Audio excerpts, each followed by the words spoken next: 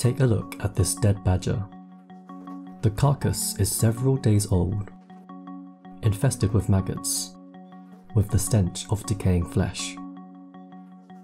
Regular meals of rotting meat would poison most animals, but for scavengers, such as vultures, this carcass is on the menu, and it's a meal they've been waiting for.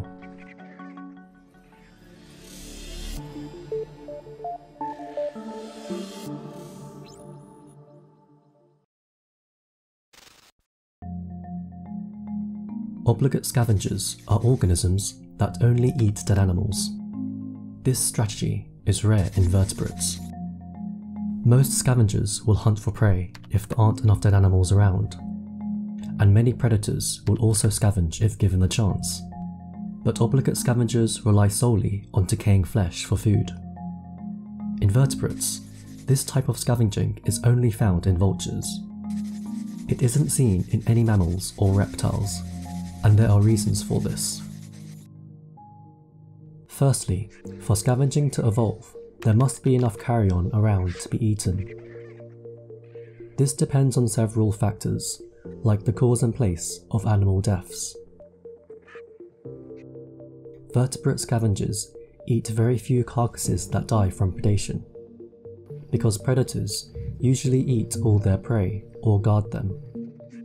As a result, most wait for animals to die from malnutrition, disease, exposure, parasites, or accidents.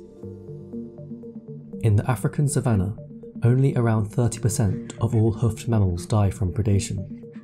The rest die from natural causes, but not all carcasses are easy to get to. This is why the place of death is important too. Although larger animals die in the open, smaller ones tend to die in burrows underground or other places too difficult to access. Because of this, carrion availability can be unpredictable. Scavengers must also be able to outcompete the microorganisms and invertebrates that decompose dead animals. As microbes digest carcasses, they can produce toxic compounds, so a carcass becomes more useless over time. Vertebrate scavengers must find their food more quickly or develop ways to overcome the toxins. Vultures, for example, have evolved incredibly acidic stomachs that allow them to eat rotting flesh without becoming sick. In 2014, a study found that these birds have large intestines covered in flesh digesting bacteria. Clostridia and Fusobacteria dominate the microbiome of vultures. By allowing the microbes to break down carrion in their intestines, these birds could absorb more nutrients from the food they eat.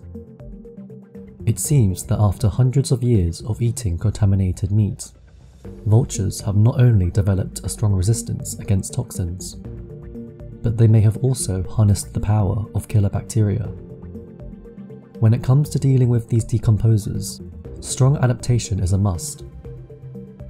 It's this adaptive cost that sets the evolutionary price for scavenging as a survival strategy, limiting the evolution of this behaviour in most animals.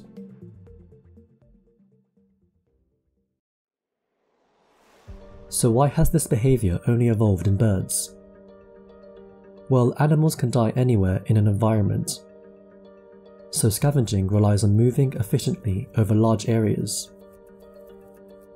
And flying is perhaps the most efficient form of movement in vertebrates.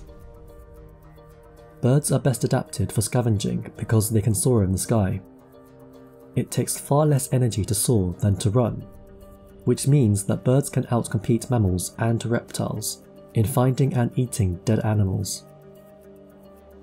This type of flight is essential for the evolution of obligate scavenging. For example, in Panama and Venezuela, when chickens were placed in forests, 97% were scavenged by turkey vultures within three days. In a similar study, vultures found 63% of carcasses, whereas mammals only found 5%. Even hyenas kill the majority of their food, because for them, it'll always be better to have the flexibility of hunting and scavenging. But there is a catch to this in birds. There's a trade-off between a wing design for efficient gliding and one for rapid turning and flying. In order to maximize their gliding ability, vultures have sacrificed the maneuverability of flight, which is needed to catch live prey. This cost has limited the evolution of this behaviour in most birds. But vultures might not be the only exclusive scavengers to have ever existed, because soaring may have been around for a long time. Bird flight originated in the late Jurassic era, while vertebrate flight originated way back in the late Triassic, when pterosaurs ruled the skies. Certain groups of pterosaurs could reach enormous sizes, with large wingspans, so some of these extinct species could have only eaten carrion too. In fact, size is an important adaptation for obligate scavengers. Because carrion availability is so unpredictable, scavengers have adapted to survive for longer periods between meals. Selection has led to larger body sizes with higher fat reserves.